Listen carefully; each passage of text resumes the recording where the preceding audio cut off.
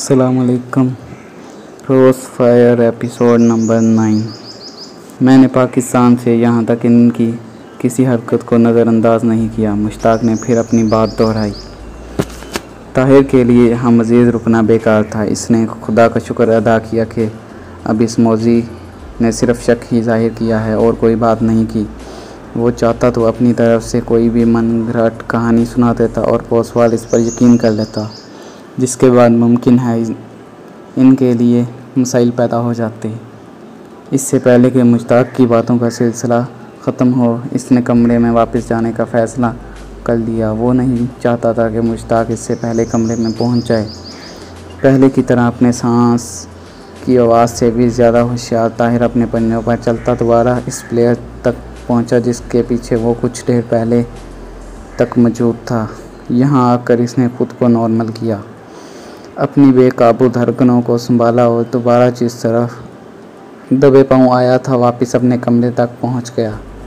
सलीम शायद दरवाजे से लगा अभी तक इसका मुंतज़र था। इसने बल्ब की हल्की सी रोशनी में अपने साथी का होलिया पहचानते हुए इसके लिए दरवाज़ा खोल दिया और दोनों दूसरे ही लम्हे अपने बिस्तर में मुंतकिल हो गए। सलीम ने किसी भी हंगामी सूरत हाल का मुकाबला करने की तैयारी कर रखी थी। जिसमें मौका पड़ने पर यहाँ से फ़रार भी शामिल था, लेकिन ताहिर की तरफ़ से मुतमिन रहने का इशारा पाकर इसने सुकून का सांस लिया। दरवाज़ा उन्होंने उसी पोजीशन में छोड़ दिया जिसमें मुश्ताक इसे छोड़कर गया था। ताहिर ने चारपाई पर बैठने के बाद इसे सरगोशी में बताया कि मुश्ताक कैप्टन पोसवाल की को रिपोर्ट करने गया था, लेकिन घबराने की कोई बात नहीं। बाकी बातें इन्होंने सुबह के लिए छोड़ दी थी। और अब वो पहले की तरह गहरी नींद के मज़े लूट रहे थे। चंद मिनट बाद मुश्ताक भी आ गया। इसकी दानस में यहाँ सब कुछ अच्छा था। अपनी दानस्त में इसने बड़ी एहतियात से दरवाज़ा बंद किया और पहले की तरह अपने बिस्तर पर आकर लेट गया। पोसवाल के लिए इतला एक धमाके से कम नहीं थी। गोका इसके मुखबर ने कोई हतमी बात नहीं की, लेकिन पोसवाल जुनूनी था। इसने खुद ही एक मफरूज़ा कायम करके ताहिर को अपने दुश्मन की हैसियत दे दी थी। इसके लिए ये सोच ही नाकबिल बर्दाश्त थी कि कामनी अग्रवाल किसी दहशत गर्द में दिलचस्पी ले रही है। ये कामनी का मामूल जुर्म नहीं था। पोसवाल के नज़दीक ये नाकबिल माफ़ी गुनाह था, जिसकी कम से कम मौत सज़ा है, जिसकी कम से कम सज़ा मौत है। और इसने कामनी और ताहिर दोनों के लिए सज़ा का फ़ैसला कर लिया था। इसे इन दोनों को बारी बारी ख़त्म करना था। पोसवाल के लिए ताहिर को मार देना कुछ मसला नहीं था। इसे ये इख्तियार हासिल था कि वो किसी भी लम्हे बगैर कोई वजह बताए इसे सबके सामने गोली मारते इसके लिए वो किसी को जवाब दावी नहीं था। अलबत् कामनी अग्रवाल की मौत इतफाक़िया होनी चाहिए थी। वो जानता था कि कर्नल और ब्रिगेडियर दोनों ही, दोनों इसके आशिक थे। दोनों ही के मुँह लगती थी वो। पोसवाल इन दोनों में से किसी के मुँह नहीं लगना चाहता था। यूँ तो इसकी हैसियत बटोरी कैंप में गैर मामूली थी और हेड क्वार्टर में बैठे। इसके बाद इसकी कार्रवाइयों से बड़े खुश थे। इसके हाथों तैयार करदा दहशत गर्द इनकी तो से बढ़कर बेहतरीन नतज हासिल कर रहे थे। पोसवाल खुद इंसानी भैंस में एक दरिंदा था। वह अपने जेर तरबियत तमाम तकरीबकारों को दरिंदे बनाकर इनके मुल्कों में भेजा करता था और इसके तैयार करदा तकरीबकारों के दिलो दिमाग में सिर्फ़ एक ही सूद आसमाया रहता था कि वो ज़्यादा से ज़्यादा तबाही फैलाना फैलाकर अपनी अयाशी का आसमान पैदा करते रहें।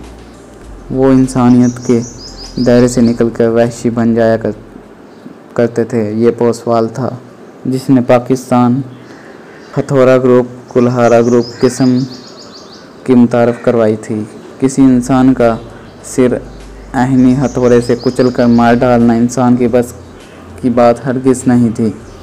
जहाँ एक ऐसी दादात हो जाती, यहाँ सारा शहर हादसा हो जाता, हर तरफ़ खून फैल जाता और इस खौफ की कोख से जन्म लेने वाली अफवाहें और खदशात, मकामी आबादी के अजहान को इस तरह जगह लेती कि इन्हें अपने सहे से भी डर लगने लगता।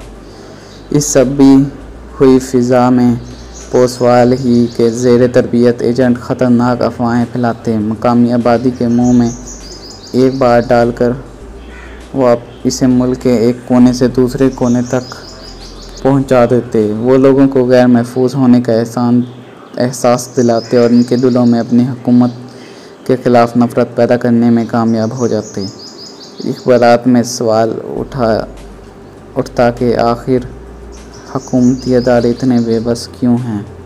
पोसवाल का काम और आसान हो जाता। जब इसके टारगेट एरिया की पुलिस आवाम को मुतमिन करने के लिए जाली हथौड़ा ग्रुप गिरफ़्तार कर लेती, जिसके साथ ही अखबार एक हलचल मचा देते, क्योंकि गिरफ़्तार शुदा गान बेगुनाह होते और कोई ना कोई सहाफ़ी इनकी असलियत जान लेता, जिसके बाद अखबार हुकूमत पर चढ़ाई करते थे और वो अपनी नालायकों पर पर्दा डालने और आवाम को मुतमिन करने के लिए बेगनाहों को गिरफ़्तार कर रही है। इसके बाद एक नया तमाशा शुरू हो जाता। लोग इस खौफ, हरास की फ़िज़ा में अपनी दुश्मनियाँ भी चुका देते। वो अपने दुश्मनों को इस तरह हलाक करते जैसे पोसवाल के सताए हुए वैशी दरिंदे हलाक कर देते। जिसके बाद ये कारनामे भी खाम मुखा इसके नाम लगते जाते थे। रूसी स्ट्रेपनज के साथ तरबियत हासिल करने वाले पोसवाल ने अपने एजेंटों के ज़रिए पाकिस्तान में दहशत फैला रखी थी। वो अपने रैंक के हिसाब से कैप्टन रोल था। लेकिन इसे किसी भी कर्नल से ज़्यादा मुराद हासिल थी। यही वजह थी कि दौरान तरबियत, इसके हाथों मरने वाले किसी भी तकरीब कार से मुतलिक इंक्वायरी नहीं की जाती थी। इसके अफसरान जानते थे कि बासोकात नफसियाती ढाक बिठाने के लिए इन जेर खरीद गुलामों को ये एहसास दिलाने के लिए अब कभी इनकी कैसे आज़ादी का तस्वर भी नहीं कर, ना करें। इस तरह के नफसियाती हरबे आजमाए जाते और पोसवाल या कोई और इंस्ट्रक्टर बिला वजह भी।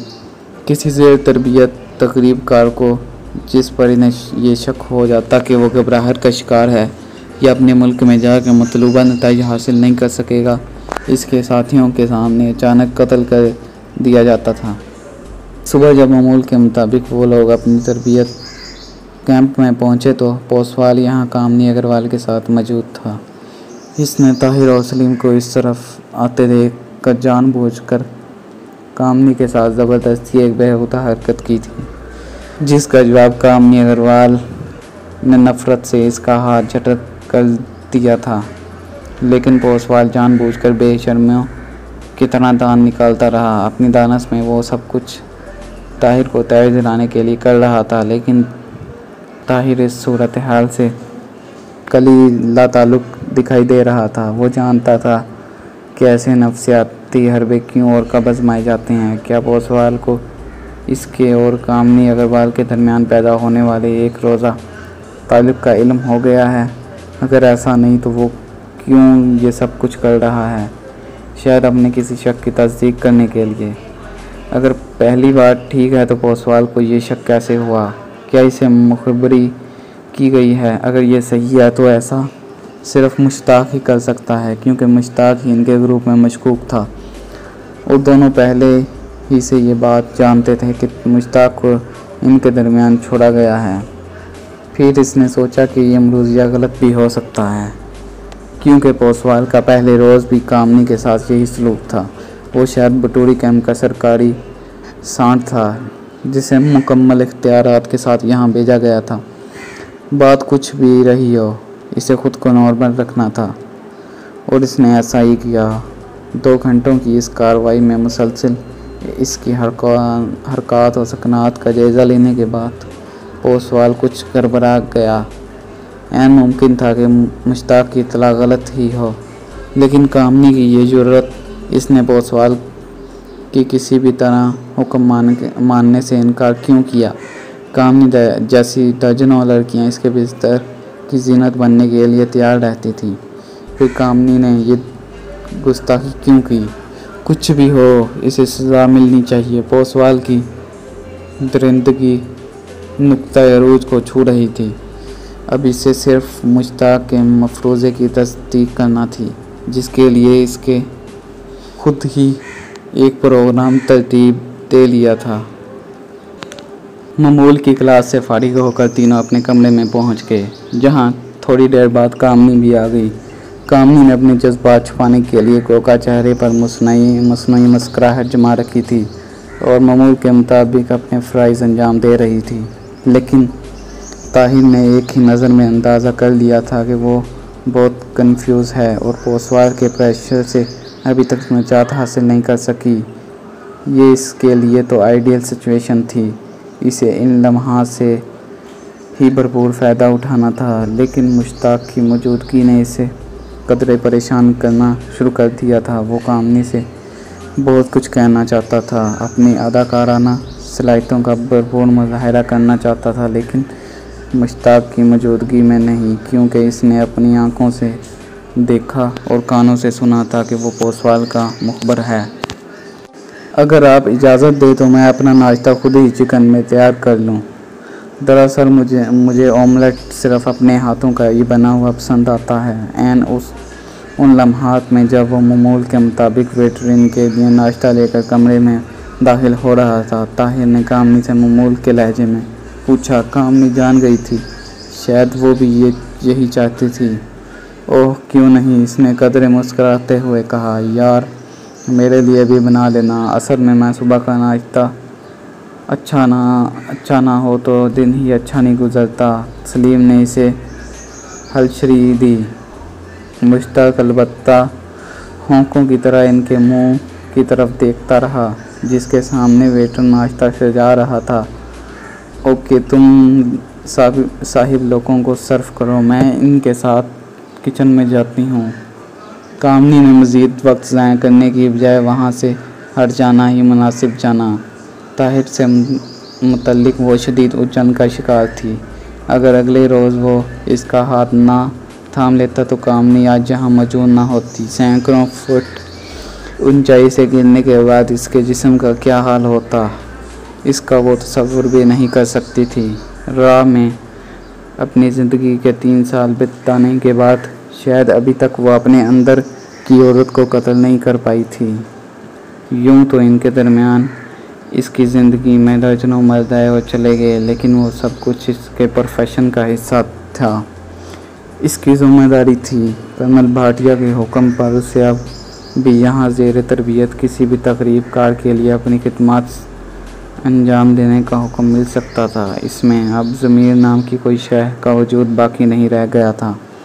देश सेवा के नाम पर राह ने इस जैसी न जाने कितनी लड़कियों के जिसम की दलाली का धंधा अपना रखा था। कॉलेज लाइफ में वो खासी आइडियल लड़की थी, लेकिन एडवेंचर पसंद, इसकी यही एडवेंचर पसंद इसे राह में ले आई और इसने ख़ुद को अपने ऑफिसरान की नज़रों में नुमाया करने के लिए इसके हर इशारा आबरू पर अपने आप को कुर्बान कर दिया था। इसे उम्मीद थी कि जल्द ही इसकी बेपना कुर्बानियों के सिलसिले में अब्रॉड पोस्टिंग मिल जाएगी। इसे किसी भी यूरोपीय मुल्क में मौजूद भारतीय सफारत खाने में राह की नुमाइंदगी के लिए भेजा जाएगा। बस यही धुन थी जो इस पर सवार थी, यही सूद इसके दिमाग में समाया हुआ था।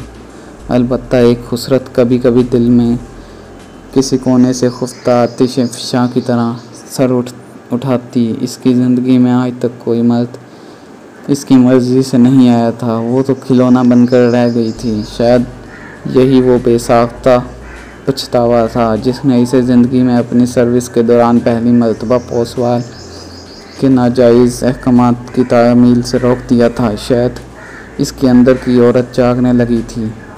और अब जब एक बाहर के मर्द ने गोका वो भी इस धंधे का हिस्सा था, लेकिन न जाने क्यों इसने कामनी अग्रवाल से इजहार मोहब्बत कर दिया। कामनी अग्रवाल गड़बड़ा कर रह गई। इस मोहब्बत को तस्लीम करना जुर्म था। इस जुर्म की कम से कम सज़ा एक दर्दनाक और बेनाम मौत थी। वो राह के हुक्म पर ताहिर जैसे दर्जनों तकरीबकारों के बिस्तर गरमा सकती थी, लेकिन इसे अपनी मर्ज़ी से किसी भी ममूल ली दिलचस्पी लेने की भी इजाज़त नहीं थी। यही यहाँ का प्रोटोकॉल था। इस कोड ऑफ़ कंडक्ट की पाबंदी इस पर लाजिम थी। ये एक खुफिया और अनलिखा माहिदा था, जो इसके और एजेंसियों के दरमियान पहले ही रोज़ तय पा गया था। अगर वो ऐसे किसी भी जुर्म में मुलवस पा जाती तो यहाँ इसके लिए कोई अदालत नहीं लगनी थी। कोई कोर्ट मार्शल नहीं होना था।